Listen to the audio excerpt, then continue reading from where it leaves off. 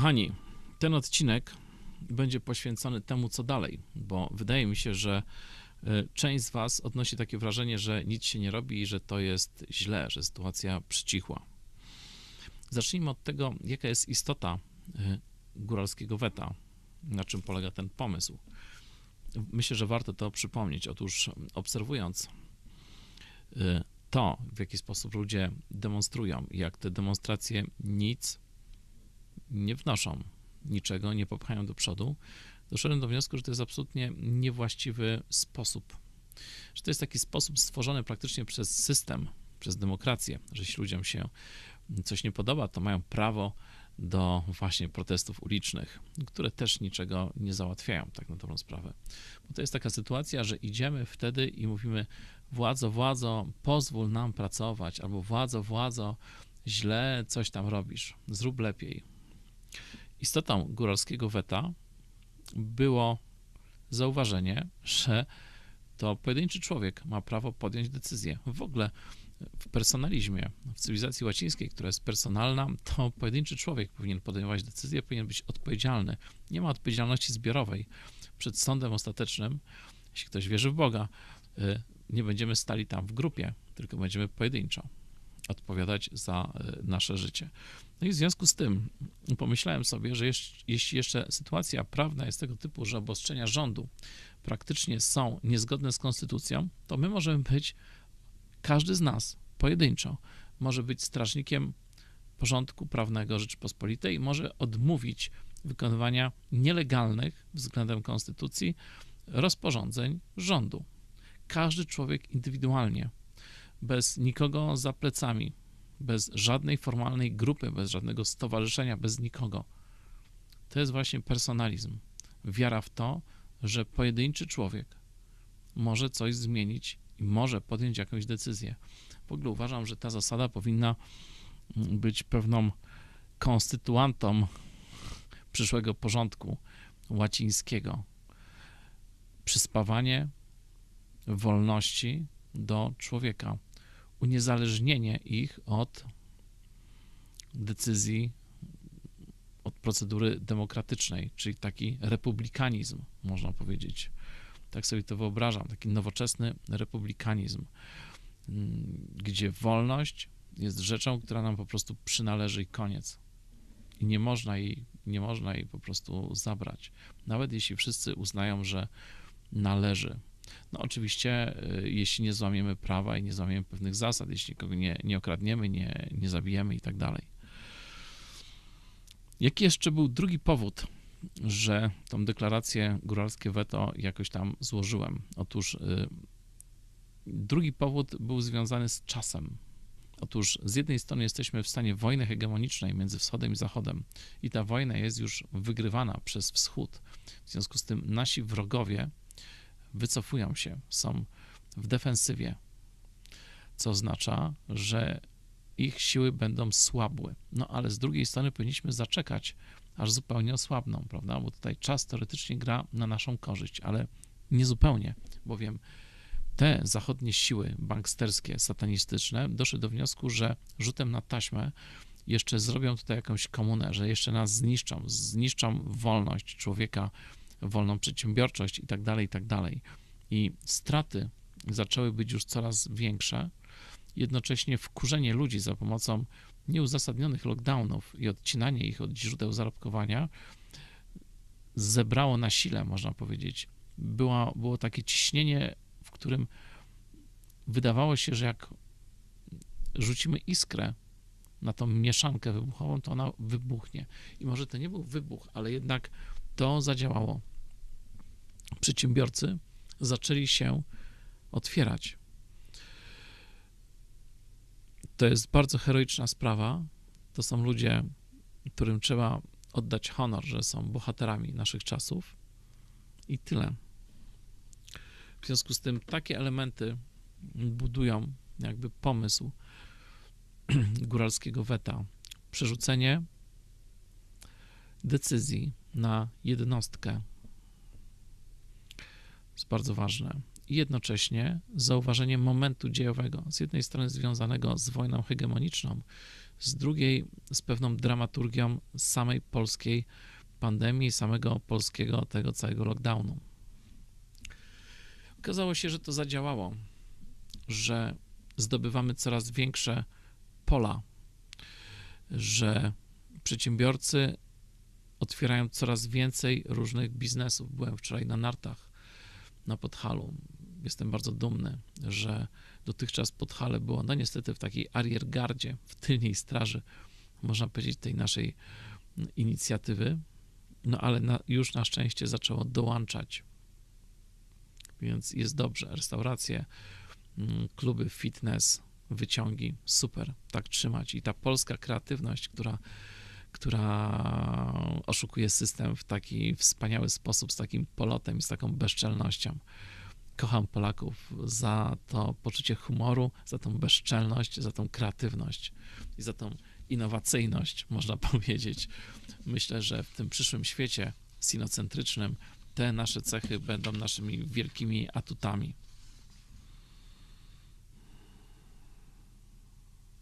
Musimy sobie zdawać sprawę, że system jest przestraszony tym przerwaniem łańcucha decyzyjnego, łańcucha sterowania, kiedy to rząd wydaje rozkaz, a obywatel ma obowiązek go słuchać. Myślę, że latami system starał się nas przyzwyczaić do tego, żebyśmy wykonywali rozkazy, że w latach 90. nikt się nie przejmował rządem. Star, e, szara i czarna strefa były gigantyczne obszary. W tej chwili już jest zupełnie inaczej.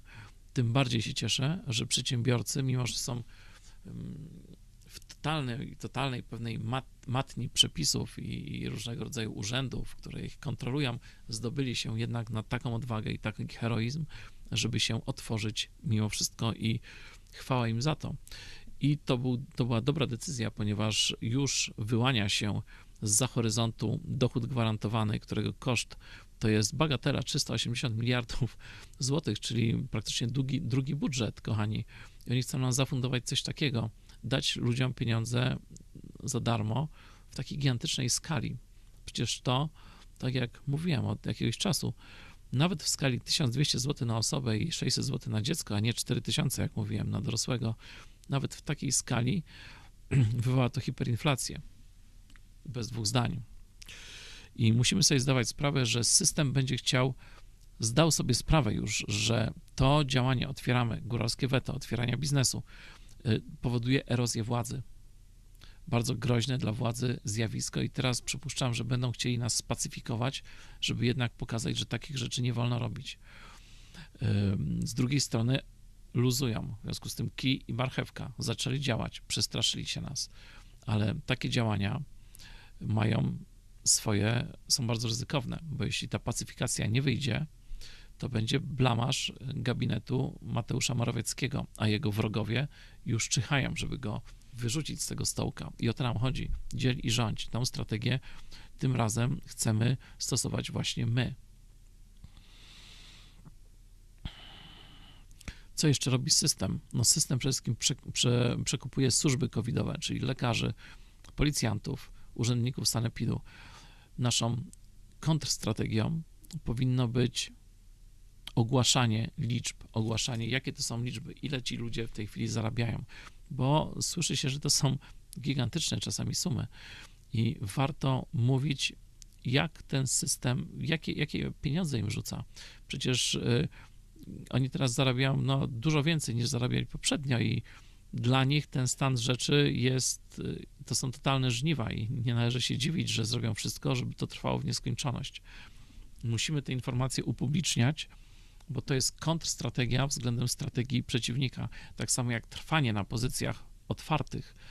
Myślę, że to nie potrwa długo, że ta kontrofensywa rządu dosyć szybko się załamie.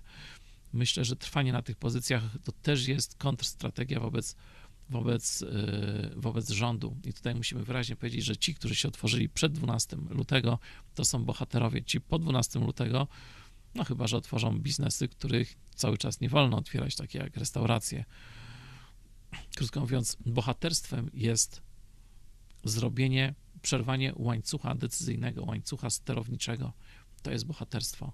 Musimy się tego musimy o tym wiedzieć, musimy z tego zdawać sprawę i powinniśmy chodzić i, tak jak mówię, zostawiać dużo pieniędzy w tych firmach, które się otworzyły wbrew zarządzeniom, wbrew zarządzeniom rządu, bo to są ci nasi żołnierze. Zobaczcie, system pcha duże sumy pieniędzy do swoich żołnierzy, a my musimy finansować naszych żołnierzy, że tak powiem. Więc takie jest nasze zadanie. Wszyscy ci, którzy chcą działać, którym się palą ręce do roboty jakiejś, idźcie do restauracji, zapłaćcie tam, kupcie sobie co tam chcecie i zostawcie tam dużo pieniędzy.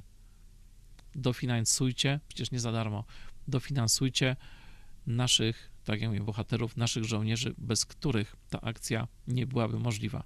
To możecie zrobić i to zróbcie. Ewentualnie się otwórzcie, jeśli macie co, oczywiście, to jest dużo rzadsze jednak. No i jeszcze mam taką sprawę, kochani.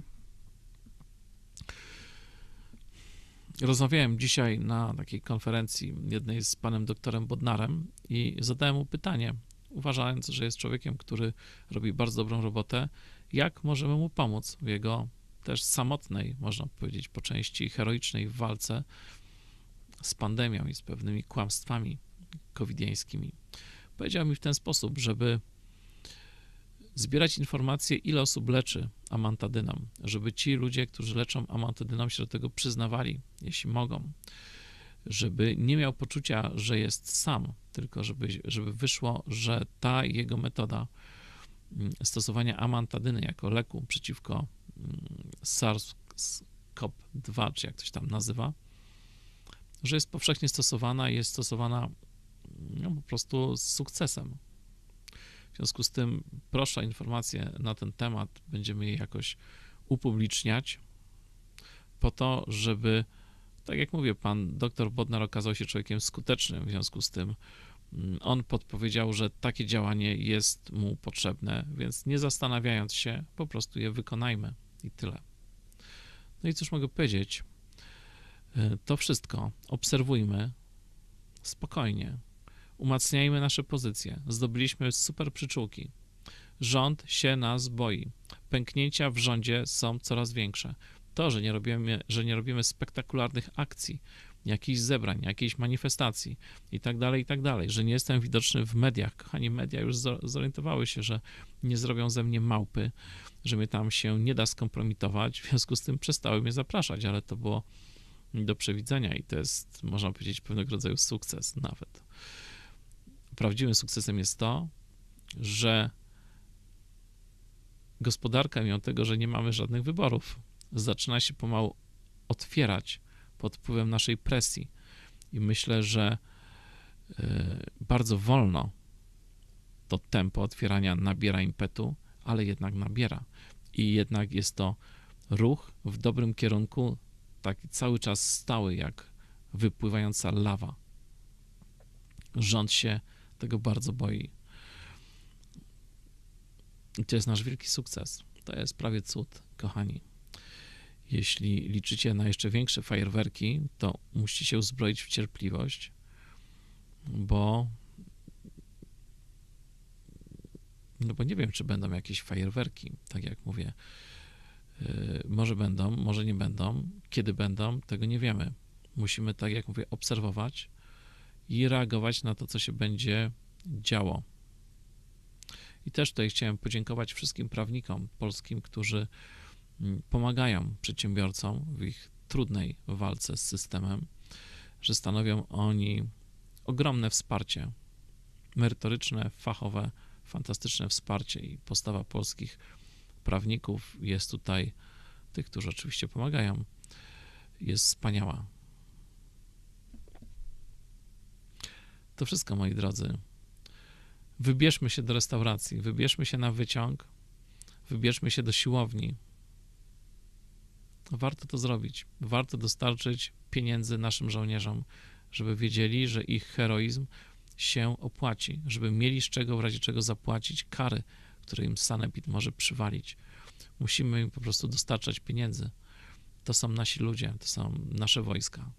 Tak o tym myślmy. To jest nasz obowiązek, żeby wszystkie jakieś tam mm, wolne chwile i dodatkowe pieniądze przerzucać, kupować usługi w tych otwartych wbrew rozporządzeniom rządu przedsiębiorcach, przedsiębiorstwach. Kochani, i tyle. To chyba wszystko na ten moment. Trzymajcie się i z Panem Bogiem.